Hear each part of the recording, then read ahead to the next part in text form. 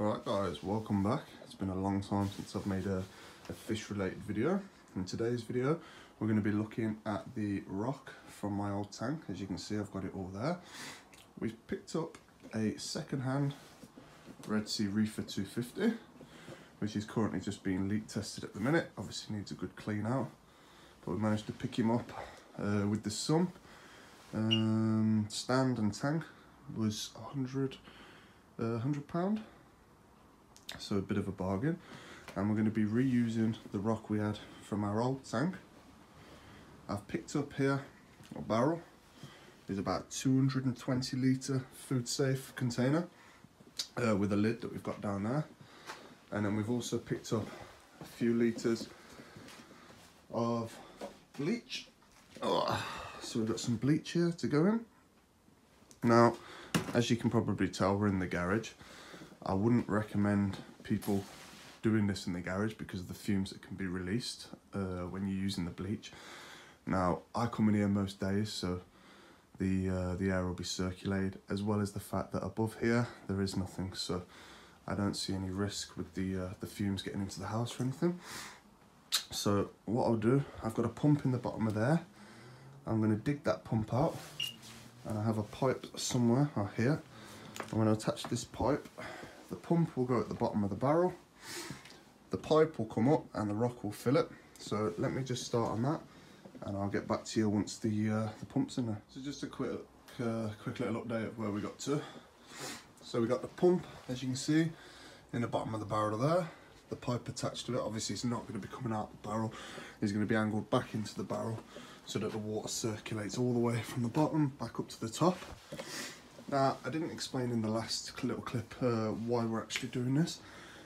So the idea behind it is obviously this rock was from my old aquarium, uh, some of it from even older aquariums that I don't have. And it's obviously got a lot of dead organic buildup inside the rock, on the surface of the rock, beneath the rock.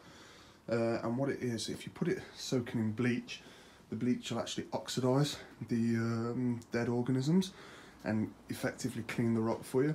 Well, a very interesting uh, video on BRS TV where they show the effects that giving it a, a bleach bath before use uh, shows. And uh, after watching that, I thought it's probably the best way to go um, and the safest. I know some people use uh, acid, but I don't feel very comfortable using acid. So I think bleach, as long as you're wearing some marigold so you don't get it on your skin and some old clothes.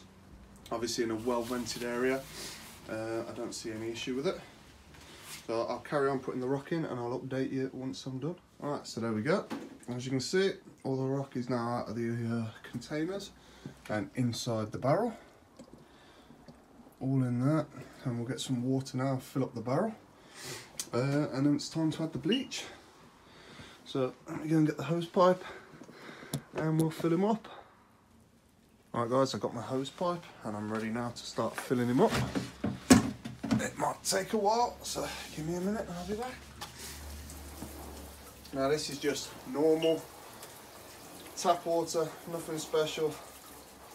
You don't need to use RODI water for this step.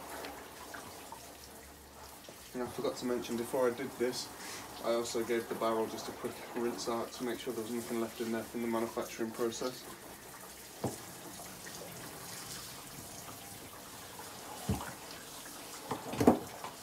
I'll let that fill and I'll be back. Okay, that's the barrel now full of water. Well, not full.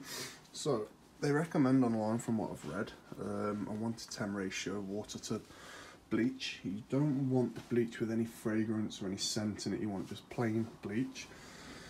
Uh, so this container here is 230 litres and I reckon it's just over halfway full. Uh, so I'm going to say there's about 120 litres of uh, tap water in there, which means I want about 12 litres of bleach. Uh, so what I'll do, I'll set the tripod down here, I'll take my bleach and I'll start to add. Obviously very careful when adding bleach. You don't want it to splash up.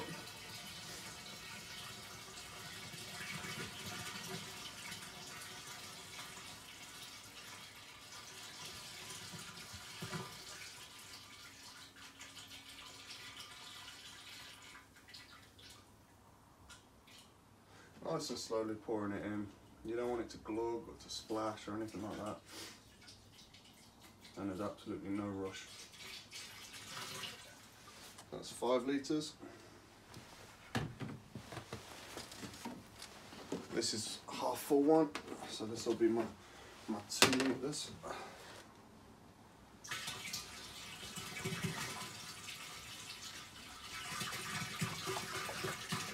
Now, this is a case of doing your own research, making sure you're doing it safely. Obviously, bleach is a household chemical, um, but it doesn't mean that it can't be dangerous. Uh, so, I recommend, obviously, I'm not, but I recommend gloves, glasses, and old clothes, and maybe uh, some sort of respirator to stop yourself breathing in the fumes. Case of do as I say, not as I do for this one. So last five litres of bleach. Going in. It. All the bleach has been added now. So like I said, it's around around 12 litres. So it's, like I said, from what I read online, there's no specific science to it. It's just a around a one to 10 people have found best. And what I'll do, I've got a lid for this. But I'll try and plug him in so the water will be flowing. It's quite difficult with one hand. There he is, so he's plugged in. Water's circulating now. And I'll pop the lid on it, and that's it. We'll leave him for uh, three or four weeks to sit there. I don't think there's any set time. Uh, from what I've read, the longer the better. And I'm in no rush at all. So I'll uh, pop the lid on and I'll let you know when he's done. So that is it we're now finished and you can see I've got the power cord going over the lid on with a nice tight seal to stop any evaporation and we'll leave him there and we'll see the results in a month two months. I think I won't rush I'll uh, I'll take it out once the tank is ready for it. Obviously before we can put it in the tank we need to then give it a bath in uh, in normal water mixed with us and some people using some water conditioner uh, like prime. Uh, so I've got a couple of tubs of prime. So I think best bet, leave it to sit for a month, two months, take the rock out, give it a rinse off, uh, give the barrel a rinse, let it air dry a little bit, fill it back up with normal tap water, add some prime and leave it for another couple of weeks and then uh, we should, should have some nice clean rock ready to start cycling in the tank. So if you have any questions on this process, please uh, put them in the comments section below. I'm not an expert, I've just read uh, online how to do it. Um, I'm sure there's some things I've done wrong, but if you do have any questions, I can uh, that I can help with. I've, obviously, I'll uh, help the best I can. Uh, stick them in the comment section below, and I'll get back to you. So until next time, happy reefing, and uh, stay safe.